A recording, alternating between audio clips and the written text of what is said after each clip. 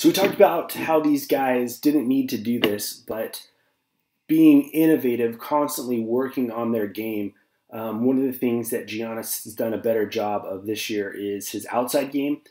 He's by no means one of the best. You know, he's not Durant by any stretch, but he's decent enough to where he can hit a shot, and he's a threat in that regard, where he can stay in the game all of the time. You know, to his credit, and you know, you've got a very similar player in a guy like Ben Simmons, who nobody respects his ability to hit an outside shot, and that's really limiting his upside. John kept working. He kept grinding, and that's exactly what Cruncher did with with these pro um, tools. Um, we're going to go ahead and get into the big three. The big three additions, and these are no secret. Manny talked about these in, in his video, but if this is new to you, um, the big thing that they did is they added the ownership projections from Awesemo, who had, um, as far as I know from what I've seen, the most accurate ownership projections. I talked about how that isn't something that matters a ton to me, um, but it is something if it matters a ton to you. Of hey, dude, I don't have time uh, to do much research. I just want to look at some stacks, some guys that are low owned, and I'm going to go in on them. Perfect. Now you can do that. If that's what you really want to do, you can do that. Um, improved randomness. I went on my soapbox and really attack randomness because it was insane how bad it was. Not on Cruncher, just the industry as a whole, the way that the computer built was not being communicated properly for what we needed to do. They fixed that. They've reached out to some really smart uh, math folks, got it corrected, and I'm going to show you um, what that means and, and, and how that can help you. Especially, again, we want to talk about saving time. I'm going to show you something that's going to blow your mind um, that we're lineups that we're going to create in a mind blowing amount of time when we get to that piece. And then lineup study. I've done, I've done a video on lineup study, and um, it wasn't it was one of my first videos, so it wasn't that great. So we'll do a an exact walkthrough of what I do when I look at lineup study and how the lineup study product on the website, um, lineupstudy.com, um, how it's um, been moved over to Fantasy Cruncher and how to go about using it. So this will be this will be our, our deep dive um, part of the video series. So the first thing we're going to look at is is the ownership, and we now have an ownership column where you can sort by the actual ownership. And this is going to help you. So, the, the big thing that you can use is pictures. This is going to be a big piece. And again, I talked about how I like to be about even with the field on the chalk. So, we had Paddack coming in at 35%. I was obviously at 25% because I cap everybody at that. And I think that's where he ended up coming in at because at the and, and Paddack was worth being owned that high. He had an awesome game yesterday.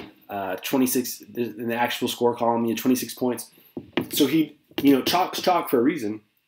And you know, when he got the win bonus, um, that hurt me a little bit yesterday. But it's one of those things where it's like, dude, I still had a good chunk of him, so it hurt me a little bit, but it didn't kill me. But this is where you could see some of these guys. You know, you take a guy like Luke Weaver, who is very erratic. So at 28%, I would want to be underweight on him. If you're playing the ownership game, you know, I try to keep things very simple.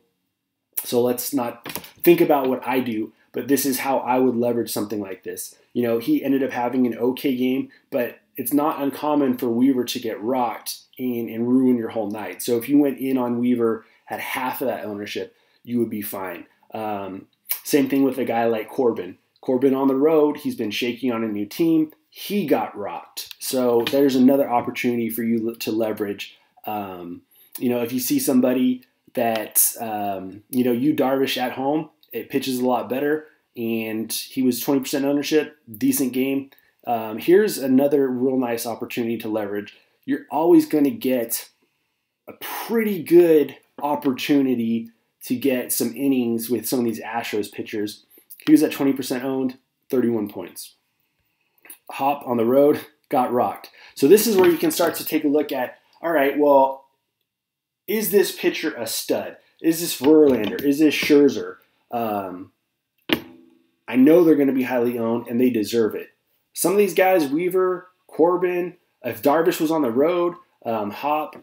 These are some of the guys that I'd be like, let's go a little lightweight. Let's go underweight on some of these guys. Let's be half ownership. Uh, let's be a third ownership. That way we can get into some of these guys um, like Soroka, 33 points. Get into Mike Minor, who was not a very good pitcher, or at least he, he didn't do that well in the past. I mean, he's just been nails this year, you know? So, you know, by capping some of these chalkier guys at the top that are shaky and they have a wide range of outcomes, it's okay to go underweight on them so you spend less of your ownership on them, giving you an opportunity to be in this section um, with your Mike Minors, your Sorokas, your Peacocks, your Odorizzi's.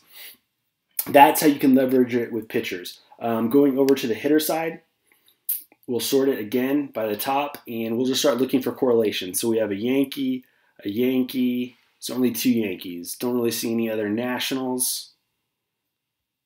So there's nothing really that stands out from a chalk perspective other than what you already know is going to be chalk. So the Rangers at home, the Rockies at home, people are going to be stacking up those games. So if you're like, hey, you know what? Um, if I already know the Rangers are going to be chalk, you know, what's a good hitting team that's going to be less owned? And that's where you can come to this and you can sort by team as well.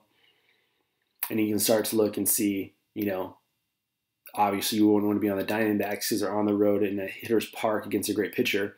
But if you're looking for a leverage opportunity, there's one. No one's going to be on those dudes. Same thing with the Braves. You can just scroll down and go team by team. Um, you know, let's look at a team like the Yankees. Because if you weren't playing the Rangers yesterday, the, the Yankees were the pivot. And pretty. Mm, this is somewhat chalky, but maybe you want to mix in some of the lower owned guys for the Yankee. You know, Torres had two home runs yesterday. So that's how you can go about leveraging the ownership piece here and looking at, hey, I don't have a ton of time. I don't really know a lot about leverage. This is how you can start to learn it by looking at the ownership of these guys um, on an individual team basis, pitching basis. And this is where you can start mixing in your intuition with the tool. Um, ownership is definitely an art and science thing. And that's why I talk about the number one thing holding people back is bankroll management. The number two thing holding people back is a overconfidence in how to do this correctly. There's very few people that can do it correctly. Um, I'm very average at it, so that's why it's not a big piece of my process as much. And there's guys who will spend so much time only looking at ownership and then their team flops, and it's like, oh, but dude, man, like this team was super contrarian. If, if, if, if, if, and it's like, no, man, like you're you're making this way too complicated. So my best advice for ownership is understand what it does, understand how leverage works, and use it to your advantage, don't overcomplicate it. If it's not something that you care that much about, hey, I just know that I wanted to pay, play the Rangers and be all in on the Rangers yesterday. Okay, that's fine. They scored 10 runs. You don't need to look at ownership for that. But maybe it's looking at the pitchers of, hey, you know what? I didn't really feel that comfortable with a guy like Corbin or um, Happ, some of the other guys that got rocked yesterday. So that is kind of your crash course on, on ownership. It's now here. You don't have to upload it. It's included with FC Pro. They're accurate.